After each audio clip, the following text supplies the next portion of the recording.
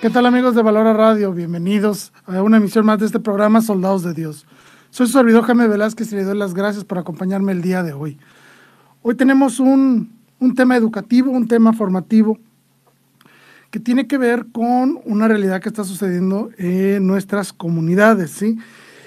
Si habrán visto el promocional, el programa el día de hoy es, es la juventud y la crisis de valores. Pues bien, es un tema muy complejo, obviamente. No tenemos tiempo en este pequeño espacio para poder abordarlo de una manera muy profunda, pero sí es importante mencionar algunos aspectos fundamentales que mueven a la sociedad hacia cierto lugar, vaya, de comportamiento, hacia ciertos estándares de conducta, y es en la juventud donde se ven reflejados estas, esta calidad, vamos a llamarlo así, de la vivencia de los valores y de las virtudes. Tenemos este, situaciones muy trágicas, especialmente en nuestro país. Eh, vaya, este fin de semana se dio una, una tragedia en un evento deportivo, dos equipos de fútbol están jugando y los aficionados se enfrentan en una, pues en una batalla campal hay una gran cantidad de heridos, unos hablan que hay muertos, otros dicen que no.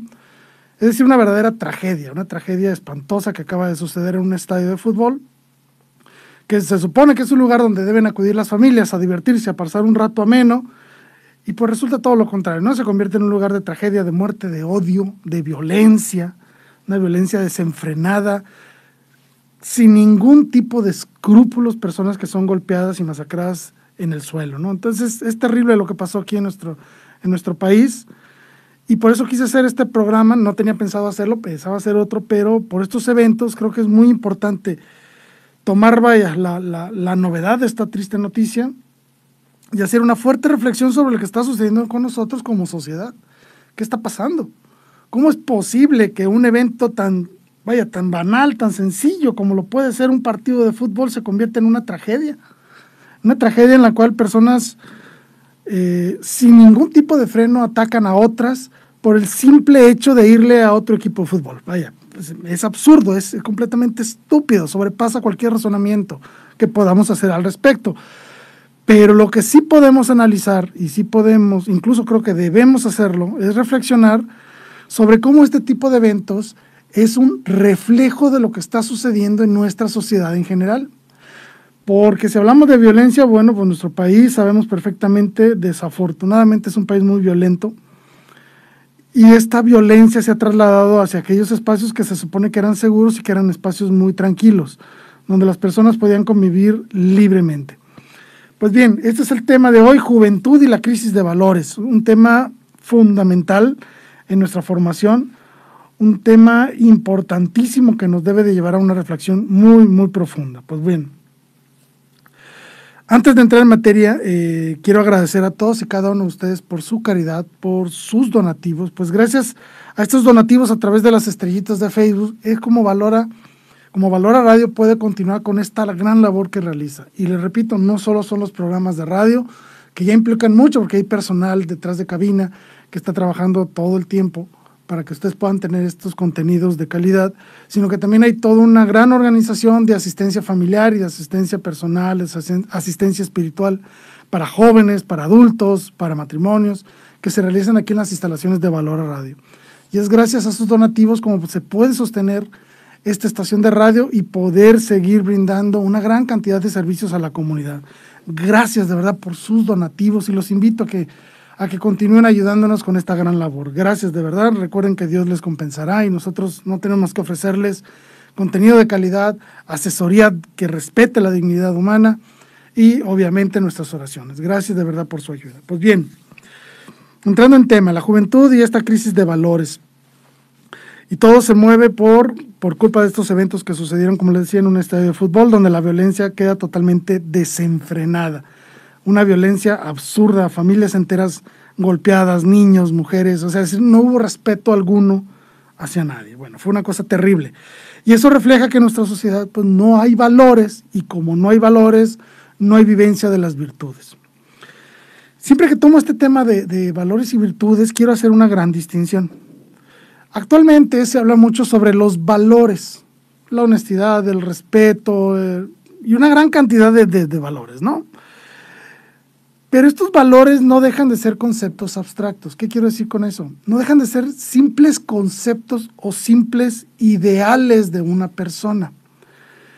Los valores no sirven para nada mientras no se conviertan en virtudes. Son solo pensamientos e ideas muy bonitas. Lo importante es convertir los valores en virtudes. Es decir, yo tomar este concepto de valor y vivirlo. Porque entonces es cuando se da verdaderamente la transformación, no solo en la persona, sino en toda la comunidad debemos de dejar de hablar mm, tanto de valores para empezar a hablar de las virtudes. Es decir, debemos de llevar esos valores, esas ideas, por muy bonitas que sean, llevarlas a la práctica. Por eso siempre vamos a hablar de valores y de virtudes. Los valores tienen que ver con la inteligencia, con el razonamiento de lo que es lo ideal del ser humano, y, los y las virtudes tienen que ver con la voluntad, poner en práctica eso que mi mente ha dicho que es bueno. Entonces tenemos siempre que unir la inteligencia y la voluntad, los valores, convertirlos en virtudes, para lograr así entonces algo muy importante con nosotros, que es el dominio de las pasiones. Lo que pasó en este estadio de fútbol es porque la gente no fue capaz de dominar sus pasiones. Se desembocó desenfrenadamente hacia la ira, hacia la agresividad, hacia la falta de respeto total por la dignidad del otro, sustentado en algo tan estúpido como es simplemente el fanatismo hacia un equipo de fútbol u otro. Eso es lo que pasó, ¿no? Pues bien, ¿cuál es la parte de la teología o la parte de lo que nosotros hablamos en este programa sobre la formación? ¿Cuál es la parte que nos habla sobre los valores y las virtudes? Pues es la moral. Así de sencillo, la ética o la moral, como lo queramos llamar. No voy a ponerme a hacer esa distinción especial. Pero básicamente es la moral la que nos dice lo que es bueno y qué es malo, y es la que define esos conceptos llamados valores, y es la que encausa las acciones para convertir esos valores en virtudes. Por eso hoy más que nunca tiene una, tenemos una necesidad esencial de poner en práctica los, aquellos conceptos morales que la iglesia y el evangelio nos dicen. Tenemos que empezar a ponerlas en práctica. No podemos continuar como sociedad viviendo este tipo de situaciones, porque esta violencia que vimos en este estadio de fútbol se traslada a la violencia en casa, se traslada a la violencia en la familia, en las parejas, entre amigos, entre conocidos y en cualquier ámbito está empezando a rodearse de, de, de, ¿cómo se puede decir?, de eventos de violencia. Y no podemos seguir así. Hasta en la música ya hay eventos de violencia, músicos atacándose unos a los otros a través de sus canciones. Hemos llegado a un nivel de violencia y de egoísmo increíbles. Ya no podemos, no, puede subsistir una sociedad que se fundamente en la violencia. No se puede. ¿sí? El narcotráfico, ¿cuántas vidas ha cobrado? Miles de vidas. Es terrible lo que está pasando. Tenemos que retomar entonces el valor de la ética. ¿Y qué tiene que ver esto con la juventud? Muy sencillo. La juventud es el reflejo del estado moral de la sociedad, porque la juventud la que pone en práctica eso que la sociedad le está diciendo que es bueno y que se desemboca en muchas cosas malas, obviamente. Por eso es que es importante empezar a hablar sobre los valores, las virtudes y sobre todo sobre la moral. Sabemos perfectamente que la ética, la moral, cuando no está bien sustentada, es decir, cuando está fundamentada en ideologías, en ideas, en creencias, en, en cosas que pueden ir cambiando con el tiempo, esta moral va cambiando y por lo tanto se va afectando y se va alterando. Si nosotros queremos fundamentar la moral, los conceptos morales, en el hombre mismo, nos vamos a dar cuenta entonces que es cambiante esta, este punto de partida. Se mueve. El hombre es dinámico conforme se van moviendo los tiempos y las circunstancias de su entorno. Por lo tanto, la moral empieza a cambiar y se empieza a convertir en una moral utilitarista. ¿Qué significa eso? Una moral que sirve para mis conveniencias. Entonces, si algo me conviene, es bueno para mí. Si algo no me conviene, es malo. Y empezamos a condenar muchas cosas que en realidad son buenas. Y empezamos a permitir cosas que en realidad son muy malas. Ejemplo sencillísimo. La ideología de género. Es muy sencillo. Si nosotros sustentamos la moral en lo emotivo, en mis sentimientos y en mis propias ideas distorsionadas de mi propia realidad, caemos en tonterías como admitir que un hombre puede ser mujer. Esto es absurdo, no se puede, ¿sí? O no se puede decir de que mi identidad es una y mi, mi fisiología es otra. Eso tampoco se puede. Si alguien está pensando que no es lo que es, simplemente tiene un problema psicológico grave y tiene que atenderse, punto. Cuando nosotros dejamos de ver la realidad como punto de partida de lo que es bueno y lo que es malo, entonces caemos en lo emotivo. Y lo emotivo no puede ser un fundamento para la moral. Trasladémoslo esto, este concepto, a lo que pasó en este estadio de fútbol. Muy sencillo. Mi emoción, mi fanatismo, mi emotividad me hizo creer que golpear al otro era bueno. Era lo justo y era lo correcto en ese momento. Y por eso sucedieron estas cosas, porque el hombre no es capaz de fundamentar los principios morales en sí mismo. No debe hacerlo.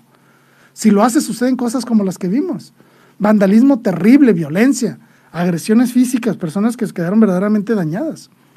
Hay que entenderlo de esta manera. La ética o la moral, como lo quieras llamar, necesita estar fundamentada en algo que nunca se mueve. Debe, ser, debe estar bien anclada en algo, y lo digo ahorita así, en algo que es inamovible, que siempre determine lo que es bueno y lo es malo, sin estar sujeto a las cambiantes ideas del ser humano. El ser humano, como les decía, va cambiando su forma de pensar, su forma de ser, las costumbres y los usos de los pueblos van cambiando con el tiempo. No podemos sustentar lo que es bueno y que es malo solo en nosotros mismos. Tenemos que fundamentarlo en algo mucho más grande que nosotros, que verdaderamente determine lo que es bueno y que es malo y que nunca cambie, porque esto es muy sencillo. Lo que es bueno siempre va a ser bueno y lo que es malo siempre va a ser algo malo. Si nosotros no anclamos nuestra moral, el bien y el mal, en un concepto en algo que no se mueve, inamovible, entonces la moral se convierte en un medio de manipulación orientada por grupos de poder dentro de nuestras propias comunidades. Tenemos que ser muy, muy claros a esto.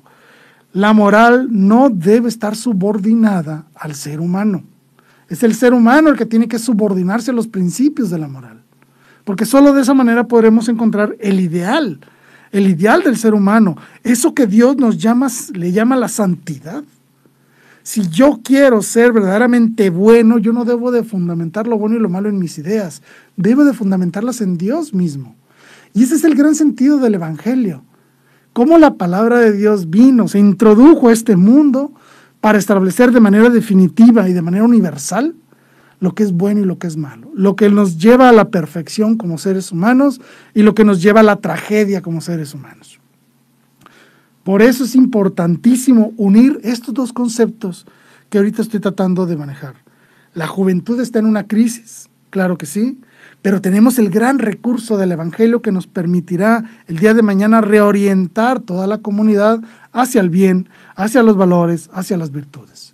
Si la juventud está hoy en crisis, es porque es un reflejo de una sociedad en crisis que ha perdido su identidad cristiana, que ha perdido de vista su, su fin trascendente que puede lograr a través del amor y a través del bien. Así de sencillo. Por eso es importantísimo analizar a la juventud en crisis, porque eso es un reflejo, es como decir, es que el termómetro que nos indica, indica cómo está nuestra sociedad, nuestras familias, nuestras mismas formas de pensar. Yo como papá, si yo veo que mi hija, mi hijo están haciendo alguna atrocidad, alguna tontería, es un reflejo de la mala formación que yo mismo les he dado.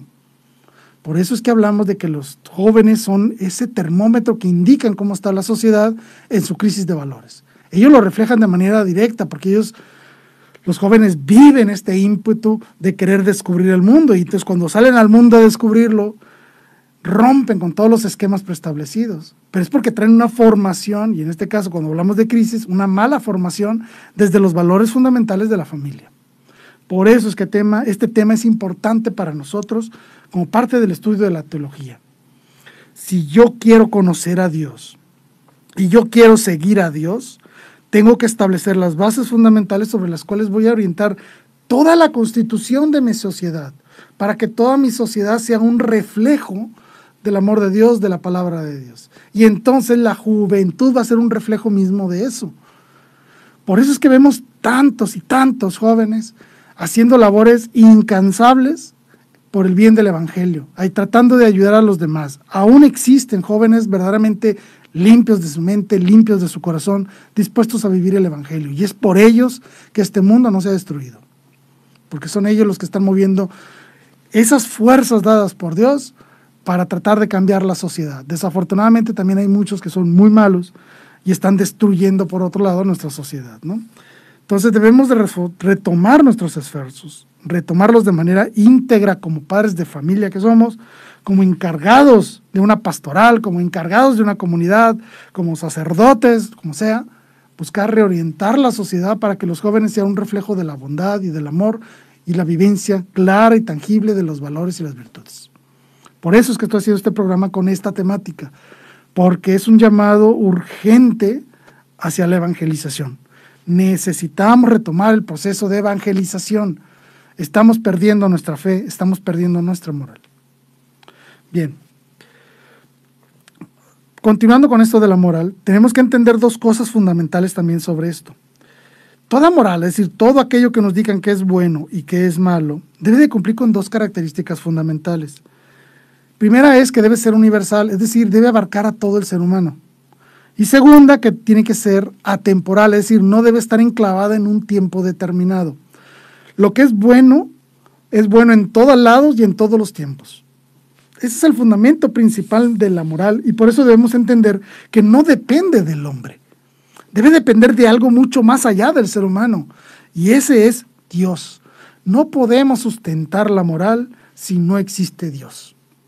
Y como existe Dios, la moral tiene su sentido si nos dirige hacia Dios.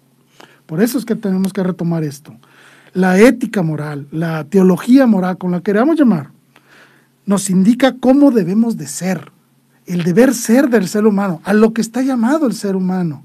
Y esto viene confirmado con las palabras de nuestro Señor Jesucristo en todo su Evangelio. ¿sí? Sean perfectos como yo soy perfecto. ¿Por qué? Porque Él nos puso el ejemplo de cómo ser perfectos, de cómo vivir la vida hacia Él, orientada hacia la vida de Cristo.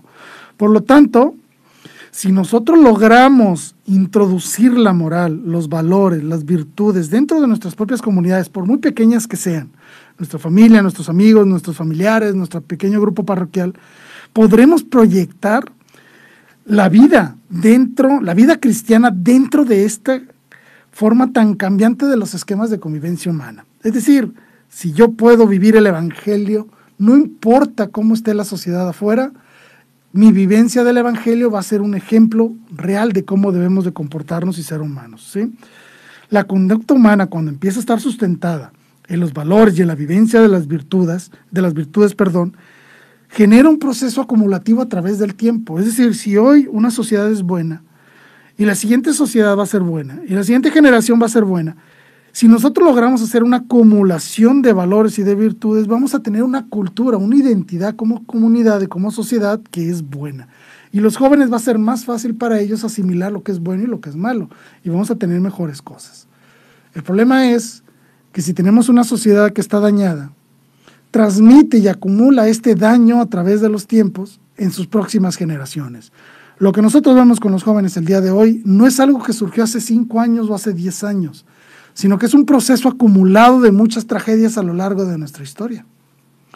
Podemos hablar de los años 60 con unas rebeldías, podemos hablar en los años 70 con este liberalismo sexual, podemos hablar en los 80 con el inicio del consumismo, podemos hablar en los 90 con los conceptos de relativismo, y cuando todo lo juntas y lo acumulas, suceden tragedias como la que vivimos este fin de semana en un estadio de fútbol. Es decir, si nosotros queremos que las generaciones sean buenas, debemos empezar por nosotros mismos desde ahorita a ser buenos, para que nuestro ejemplo, nuestras educaciones, nuestros valores, nuestros conceptos estén orientados hacia Dios. Y de esa manera los jóvenes que nos van a seguir a lo largo de los tiempos van a ir creciendo en un ambiente donde la vivencia de las virtudes es el deber ser ideal de la comunidad como tal. Así es como tenemos que crear nuestras, nuestras formas de empezar a formular esta sociedad que necesitamos ir reestructurando de una manera lógica, de una manera apasionada, pero siempre sustentada en las vivencias del Evangelio. Bien. Entonces, hablando de crisis, cuando nosotros hablemos de crisis debemos comprender entonces que estamos ante un reflejo de lo que sucede en una comunidad en general, ¿sí? Si nosotros no hemos sido capaces de darle a nuestros jóvenes a darle a nuestros jóvenes una buena educación y formación en los valores y en las virtudes, estamos condenados entonces a sufrir en ellos el embate del daño que hemos causado a través de nuestra forma, a nuestra falta de, de actuación en la formación de ellos. Muy bien. queremos transformar a los jóvenes, bueno, hay que transformar a la sociedad completa y debe transformarse la sociedad en completo. ¿sí? ¿Cómo se logra una transformación social? Y esto lo vamos, a lo mejor lo van a captar y entender de una manera muy especial porque lo han vivido en muchos aspectos de su vida. Si nosotros queremos verdaderamente cambiar una sociedad, debemos, debemos de empezar a alterar, vamos a llamarlo así, afectar el sentido y significado de nuestra vida y de nuestras relaciones. Lo vuelvo a repetir porque esto es muy importante y pueden analizarlo con cualquier aspecto, cualquier ideología que empiece a ponerse de moda en el mundo. Si queremos transformar una sociedad, debemos afectar el sentido y el significado de nuestra propia vida y de nuestras relaciones con los demás. Si nosotros somos capaces de vernos a nosotros mismos como, como lo que verdaderamente somos, que es ser hijos de Dios, podremos entonces comprender el valor que tengo, el valor del significado de mi vida, cuál es mi fin último, hacia dónde voy, y también comprender lo que es el otro, el prójimo, quién eres, hacia dónde vas, me puedes servir o puedo servirte. Es decir, cuando tú empiezas a afectar lo que significa la vida, lo que significa la dignidad y cómo relacionarnos con los demás, es como verdaderamente podemos transformar la sociedad. Si queremos una sociedad que se destruye, que pierda su identidad, empieza a confrontarla con dos grandes grupos. Empieza a crear choques en la comunidad. Un ejemplo muy sencillo, ¿no? Este, los fifis y los chairos, por decirlo así, ¿no? Tomando en cuenta lo que está sucediendo ahorita, ¿no? Los ricos contra los pobres, los hombres contra las mujeres, los de un equipo contra el otro equipo. Es decir, si tú quieres destruir una sociedad, haz que se pierda el sentido de su vida, haz que se pierda el sentido de las relaciones humanas y entonces vas a tener sociedades confrontadas. Vas a tener verdaderamente dos grandes bloques dentro de una comunidad que están chocando entre sí y se están autodestruyendo. Ya que las sociedades han perdido su identidad, son fácilmente manipulables y alterables hacia las conveniencias de muchas personas. Y es ahí donde vemos en los jóvenes cómo se refleja este efecto. Porque son los jóvenes los que son el termómetro de la situación que está viviendo la sociedad. Pero si nosotros logramos imponerle a los jóvenes, dentro de su corazón, dentro de su cabeza, estas preguntas fundamentales de quién eres, ¿Para qué estás aquí? ¿Qué sentido tiene tu vida? ¿Hacia dónde vas? ¿Cuál es tu fin trascendente? Si el, joven empieza a reflexionar sobre estas preguntas, puede cambiar su forma de ser. Y esa labor nos corresponde a todos y cada uno de nosotros. Sabemos que la dinámica social trastoca o transforma los significados más profundos de nuestra propia autoconcepción y de nuestra propia identidad, que se traduce en conductas ordenadas o conductas desordenadas, según sea el caso. Y esta dinámica de transformación de sociedad tiene tres grandes bloques. El primero es la forma en que se producen los bienes y servicios. ¿Esto qué tiene que ver con los jóvenes? Ahorita voy para allá. Estamos viviendo una época tecnológica, todo lo tenemos aquí, en el celular, todo lo tenemos aquí. ¿sí? Entonces los jóvenes nacieron ya con el celular en la mano prácticamente, ¿no? Ellos están viviendo esta transformación de la época tecnológica, por lo tanto tienen un acceso ilimitado a la información y la capacidad de uso ilimitado de la información.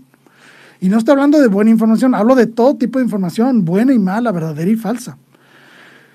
El mundo se ha llenado de bienes y servicios que tú puedes adquirir a través de tu propio celular. De una manera muy sencilla, das dos, tres clics y automáticamente vas a tener en tu mano cualquier cosa que desees.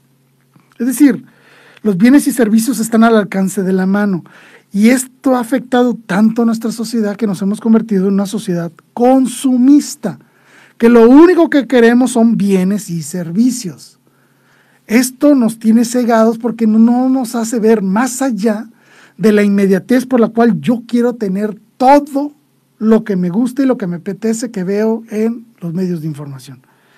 Por lo tanto, yo asumo que todo el cosmos, es decir, todo cuanto existe, está a mi servicio. Todo está para servirme a mí. Por lo tanto, lo compro, lo consumo. Y eso implica también a muchas cosas muy malas, como lo puede ser la pornografía, por ejemplo, si lo pensamos como un servicio, ¿sí? Prostitución, pornografía, drogas y un montón de cosas que hay en nuestra sociedad. Es decir, si nosotros empezamos a ver que, la, que los bienes y servicios se producen de manera masiva para servirme a mí, entonces yo tengo que aprovechar eso. Ese es el problema con muchos de nuestros jóvenes ahorita, que creen que el ideal de felicidad y de éxito es tener cosas y consumir cosas. Las cosas, las cosas efímeras. Y eso implica el placer, implica un montón de cosas.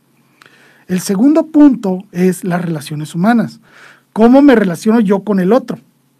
Y aquí viene algo muy importante.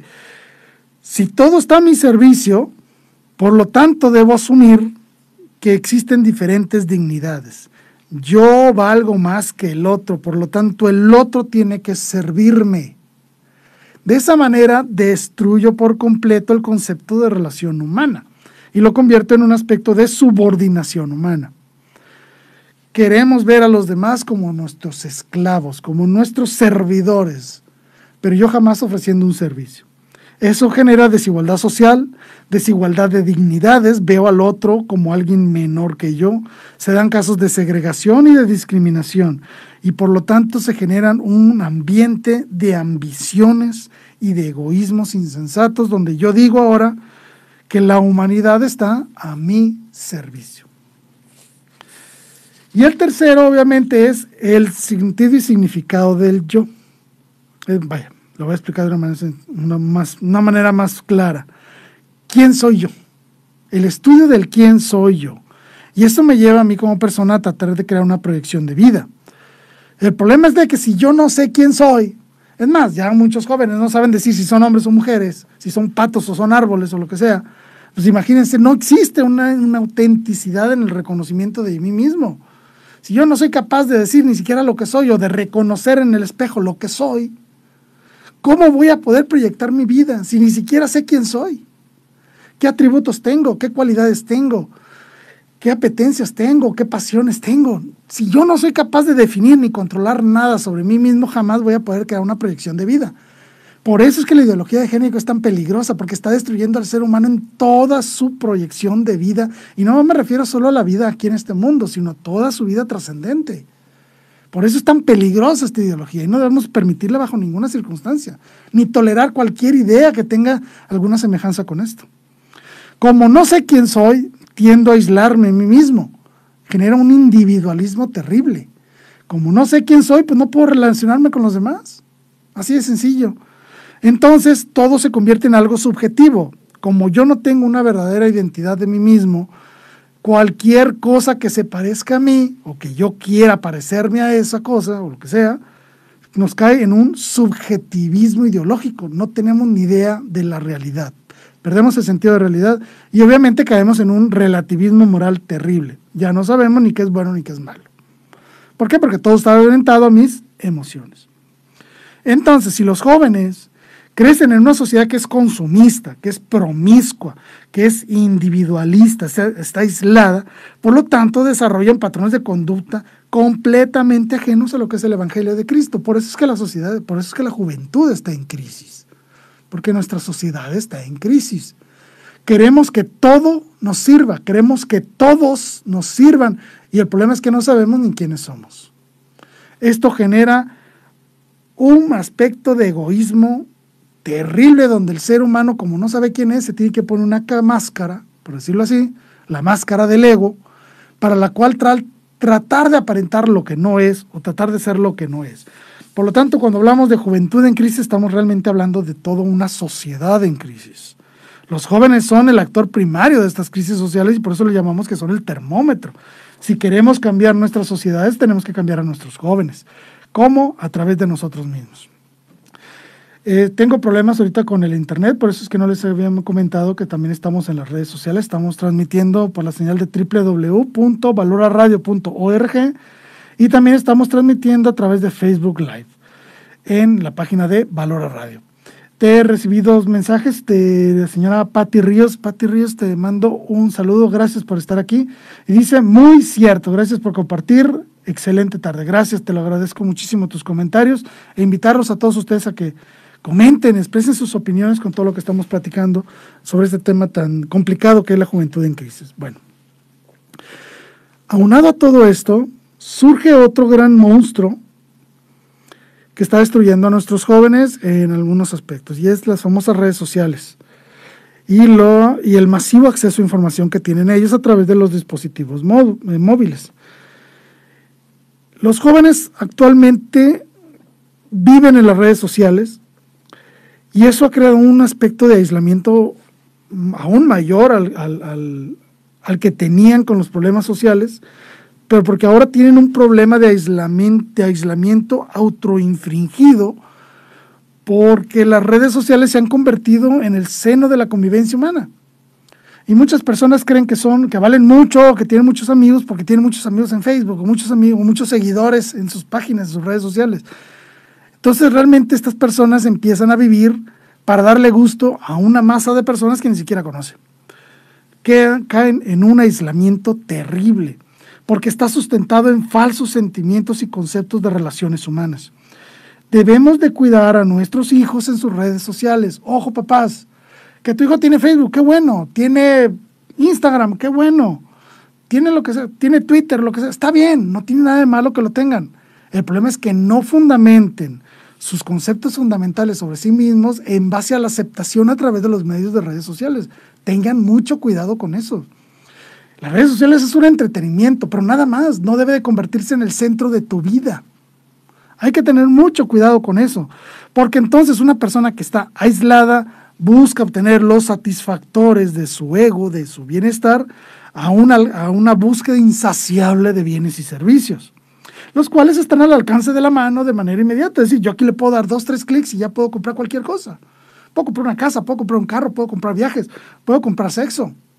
¿Por qué? Porque eso es lo que está sucediendo. Estoy tan solo que la única forma de satisfacer estos huecos emocionales es a través de cosas y placeres. Por eso es entonces que se pierde la identidad. Los jóvenes no saben ni quiénes son.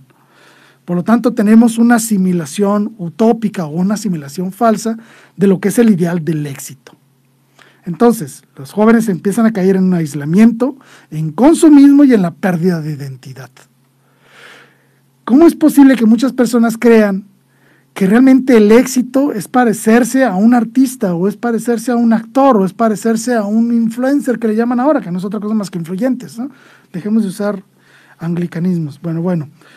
El ser humano, como ha perdido su identidad, busca de crear patrones de conductas que ven otras personas a los cuales ellos imitan, pensando que ese es el concepto correcto del éxito, y no lo es.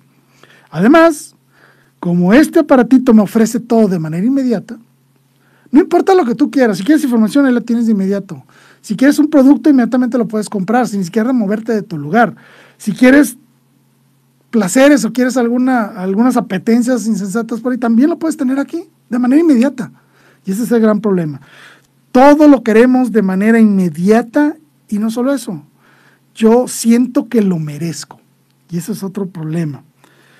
Creemos que merecemos todo y que lo merecemos sin esfuerzo y que lo merecemos ya. El ser humano no está capacitado actualmente para afrontar una cosa que se llama frustración. Y eso es un, que algo que se ve muy reflejado en nuestros jóvenes, porque ellos no saben lidiar con la frustración, no pueden vivir con ella. ¿Por qué? Porque todo lo que he vivido hasta estos momentos de su juventud es la inmediatez de los bienes y servicios. Hay tantos y tan disponibles que los puedo adquirir en cualquier momento. Y como yo lleno todos mis huecos emocionales con cosas, pues me he olvidado de tener relaciones humanas. ¿sí? Ok. Se viene un golpe muy fuerte, muy fuerte en los jóvenes y seguramente muchos se van a ver afectados, por eso las tasas de suicidio están aumentando, por eso los casos de depresión y de ansiedad han aumentado en nuestras comunidades, porque los jóvenes se están dando cuenta de que la verdad no está ahí. No van a encontrar la felicidad a través de las redes sociales, no la van a encontrar ahí. No la van a encontrar en los placeres, no la van a encontrar en las cosas. Eso pasa y pasa muy rápido. Por lo tanto, los jóvenes están enfrentando una fuerte crisis. Ahora sí, lo que verdaderamente significa la juventud en crisis, no por la mala formación tanto que hayan tenido, sino porque se dan cuenta que han sido mal formados. Y eso choca con todo lo que ellos habían estimado que era su identidad, lo bueno, lo malo, y se les está derrumbando todo el esquema en el cual ellos habían establecido su proyecto de vida y se dan cuenta que todo era falso. Aquí viene la verdadera crisis, esa crisis interna en el joven cuando se da cuenta que toda su vida ha sido una gran mentira. Ha sustentado sus valores, sus apetencias, sus gustos, su propia identidad en una mentira. Qué terrible, ¿verdad? Es algo espantoso cuando te das cuenta que toda tu vida está sustentada en algo falso. Quiero hablar de algunos puntos, algunos puntos que los jóvenes están viviendo y que tenemos que identificarlos. Porque tarde o temprano nuestros jóvenes se van a enfrentar a una fuerte crisis de identidad cuando se den cuenta de que todo lo que les hemos dicho o todo lo que la sociedad y la comunidad les ha dicho anteriormente ha sido una mentira. Y tenemos que tomar en cuenta esto. Bueno, primero, nuestros jóvenes se han, descubierto, están descubriendo hoy, que han adherido sus ideas, su forma de pensar, su forma de ser, los ideales del éxito que ellos han establecido, no conllevan compromisos a largo plazo, porque todos estos ideales de grandeza o de éxito son cambiantes y dinámicos. Siempre habrá alguien que sea más rico que el otro, siempre habrá, habrá alguien que resurja de la nada y tumbe los esquemas anteriormente establecidos. Es demasiado dinámico y establecer un ideal de vida sustentado en otras personas automáticamente se va transformando cada dos, tres, cuatro años surge alguien nuevo y queremos imitarlo. Por lo tanto, el joven, cuando empieza a imitar a uno, luego a otro, y luego a otro, se da cuenta de que no está imitando a nadie realmente, que lo único que ha hecho es perder su tiempo y ha perdido su propia identidad. Ya no sabe ni quién es. El segundo es el relativismo moral, que es de los más graves. Aceptamos como válida y como bueno cualquier idea que satisfaga o que estimule nuestro estado de comodidad y de placer. Al joven le ha hecho creer que el sexo y el amor no deben estar unidos y por lo tanto ha vivido una vida promiscua. Entonces ya le es muy difícil establecer verdaderos lazos de amor, lazos de fidelidad, lazos de, verdadero compromiso de largo plazo, porque toda su vida estuvo sustentada en el uso y el disfrute de otras personas, e incluso de sí mismo. ¿sí? Eso genera un estado, entonces, al punto 3, un estado de inseguridad terrible y un estado de autoafirmación. Yo ahorita explico rápido qué es esto. Hay un estado de inseguridad porque el joven se va a dar cuenta que no tiene ni la más remota idea de quién es, cuáles son sus su, verdadera identidad, sus cualidades, como se da cuenta de que no tiene idea de quién es, entonces empieza a buscar en las ideologías actuales eso que lo confirme en su confusión. Así es, así, como se oye. Cubren estas inseguridades sustentándose en ideas y actitudes que justifican sus malas actitudes. Si el otro lo hace, pues yo también. Por poner un ejemplo muy absurdo, ¿no? Si fulanitos hacen eso, pues yo quiero, puedo, me justifico con que yo también lo hago. Es decir, y tenemos el acceso a la mano, una gran cantidad de información que sustenta esas malas ideas, que les da herramientas para justificarse a ellos mismos dentro de sus propias inseguridades y dentro de su falta de identidad personal. Empiezan a reconocer a la amistad verdaderamente como lo que es, le empiezan a dar valor poco a poco a la amistad, de tener una amistad y una relación con otra persona. Empiezan a valorarla. ¿Por qué? Porque toda su vida han establecido que la amistad está en función de los, de los seguidores, en función de los likes, en función de los inscritos a mi canal. Es decir, cuando se dan cuenta que los amigos en las redes sociales no son realmente tus amigos, entonces empiezan a valorar de una manera especial la amistad. La amistad verdadera, el tener a alguien a un lado platicándote y estando contigo. El problema es que no saben relacionarse con esa persona. No saben relacionarse entre ellos mismos. Entonces hay una fuerte crisis porque las personas empiezan a añorar la convivencia humana. Y no lo pueden lograr porque no saben hacer amistades. Han perdido esa capacidad porque todo lo han sustentado a través de los sistemas digitales. Ese va a ser otro golpe, terrible que van a recibir nuestros jóvenes cuando verdaderamente empiecen a valorar lo que verdaderamente es la amistad. Y se van a dar cuenta que la amistad no es el número de likes o el número de fans, sino las personas que están a tu lado acompañándote en todo momento. Nos escribe también JMAC, dice, buenas tardes, excelentes. Temas muy importantes, efectivamente son temas muy importantes que, fíjate que tenemos que retomarlos de una manera especial, darnos el tiempo de analizarlos, porque al final de cuentas los que van a generar estos cambios en nuestras comunidades somos nosotros mismos nosotros como iglesia. Tenemos que empezar a transformar a ese joven que tenemos en nuestra casa, a ese ahijado que, le, que, bautizamos o que fuimos su padrino de confirmación, a nuestros amigos. Poco a poco nosotros debemos ir motivando estos pequeños cambios para que las personas verdaderamente empiecen a identificarse como lo que son, reconocerse como hijos de Dios, dignos en sí mismos, que Dios tiene un plan para ellos y que están llamados a la trascendencia y a la grandeza, no al consumismo. Así es, JM, como tú lo dices, es importantísimo, importantísimo estos temas y afrontarlos con mucha seriedad, ¿sí? con la seriedad de vida. Bueno, otro choque que van a tener nuestros jóvenes cuando se den cuenta que son incapaces de tener relaciones permanentes. Por eso es que el matrimonio está en crisis. Porque los jóvenes no se quieren casar porque les da miedo comprometerse a largo plazo. Siempre han vivido relaciones efímeras, provisionales, temporales, donde lo único que los une es el placer y la atracción. Pero ¿qué pasa cuando ya no hay placer? Por ejemplo, que ya no hay tanta intimidad. O que ya no estoy tan guapo como antes. O ella ya no está tan delgadita como antes. Cuando la belleza se empieza a perder. Cuando la agilidad y la juventud, la vigoricidad se empieza a perder ¿En qué sustentaste tu amor? Lo sustentaste en el sexo y en, el, y en la vista. Cuando debería ser al revés, ¿no? Nunca, y esto lo he dicho siempre, nunca debemos de sustentar el amor en el sexo. Es al revés. El sexo debe estar sustentado en el verdadero amor. Primero, primero enamórate de esa persona antes de que quieras desearla. Eso es importantísimo. Obviamente los jóvenes están acostumbrados a tener una vida en la que siempre han vivido el placer como primera instancia, y cuando ya no hay ese placer, pues no sabes platicar con el otro. Te das cuenta que el otro tiene ideas diferentes a las tuyas, tiene gustos distintos a los tuyos, que son incompatibles con tu misma propia forma de ser. Por eso se dan tantos divorcios. Se casan por el gusto del sexo, no por el, no por el amor hacia la persona que está con ustedes. Nos escribe nuevamente Patti Ríos y nos dice, como persona adulta me, pasó en una, me pasó en una etapa y me dolió reconocer que estaba equivocada. Por falta de conocer a Jesús Eucaristía, yo estaba ausente de Dios porque así lo había decidido. Claro que sí. Es decir, tu testimonio es importantísimo para ti. Claro que sí. Y viene aquí un punto importante, tú lo misma lo dices, llegas a la etapa adulta. En el momento en que pasa esta euforia de la juventud y empiezas a reflexionar sobre verdaderamente tu vida, tu identidad, lo que has hecho en el pasado y hacia dónde vas, es cuando te das cuenta que, hey, me falta algo importante.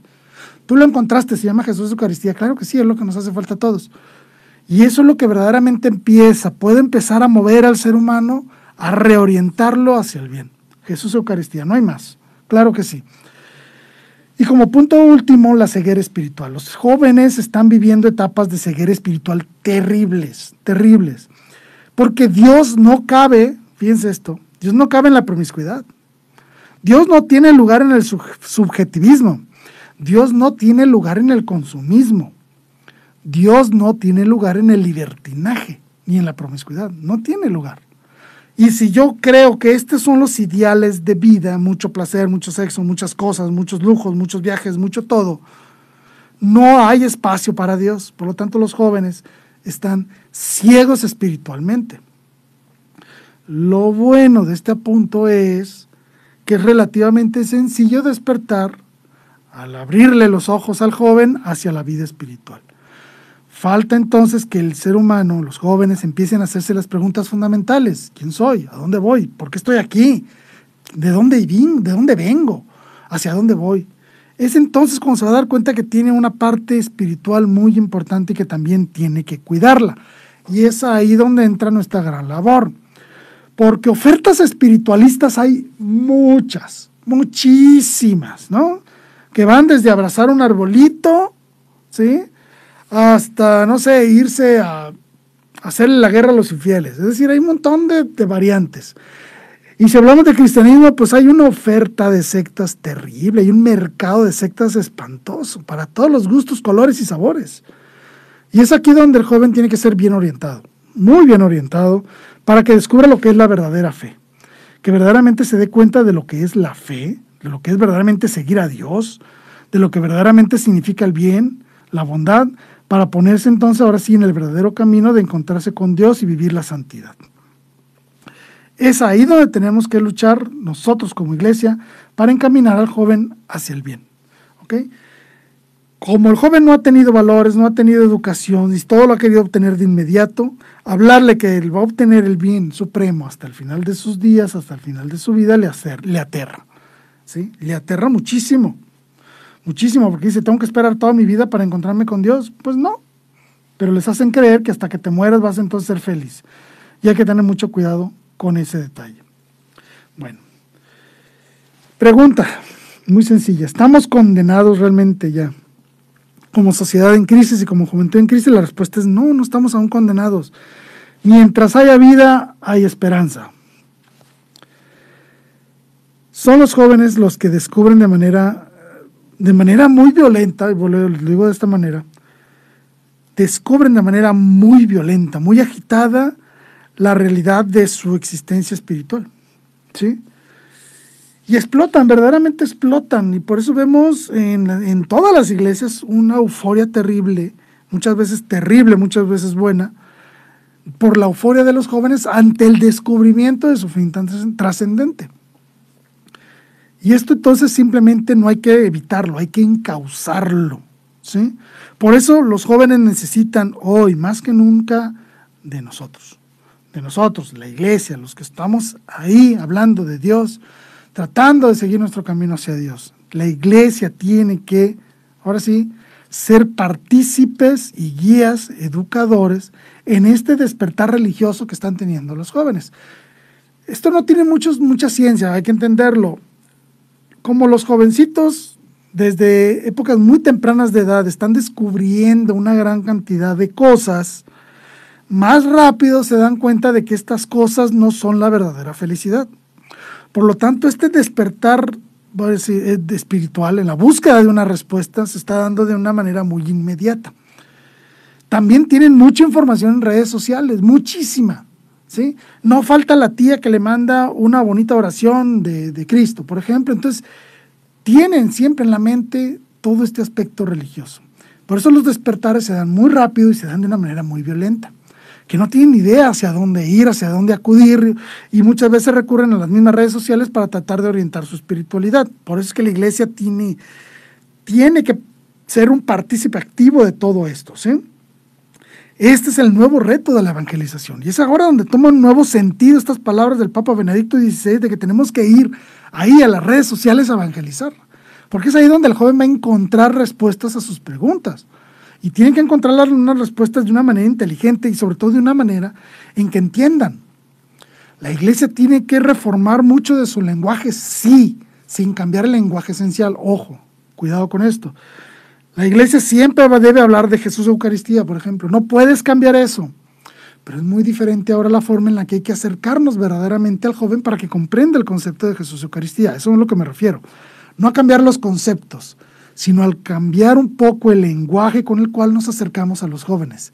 Tenemos que hablarles en su propio idioma y tenemos que hablarle en aquellos medios en los cuales ellos se desenvuelven. Tenemos que ir al rescate de los jóvenes para que su despertar a esta espiritualidad, cuando se den cuenta de que el mundo no le ofrece la felicidad, puedan explotar y explotar hacia el bien. Este es el verdadero sentido. Este es el nuevo campo de evangelización. No es el mundo, no es allá las naciones. Es tu propia casa, tus redes sociales, tu computadora, tu teléfono. Es ahí donde tenemos que empezar esta nueva evangelización. Aprovechar las herramientas que nos ofrece el mundo virtual para llamar a los jóvenes al encuentro con Señor. La iglesia debe de retomar estos grandes esfuerzos y crear un lenguaje actualizado, un lenguaje digital, llamémosle así, para que los jóvenes se encuentren con Cristo, con su iglesia, con su verdadera iglesia, aquí en las redes sociales, y estemos en posibilidades de darle respuestas a sus inquietudes, a sus dudas, a sus preguntas. Tenemos que acudir y a responder las preguntas más íntimas y más profundas que puede realizar el joven actual. Tenemos que llegar hasta el fondo. No podemos quedarnos con lenguajes pasivos o lenguajes nada más por encimita. Tenemos que ir al núcleo de sus dudas y de sus inquietudes. Porque el joven lo desea todo. Bueno, vamos a darles todo. Hay que darles todo el contenido de nuestra fe, todo el contenido de nuestra esperanza. Claro que sí, en el lenguaje que ellos entienden y en los medios que ellos entienden.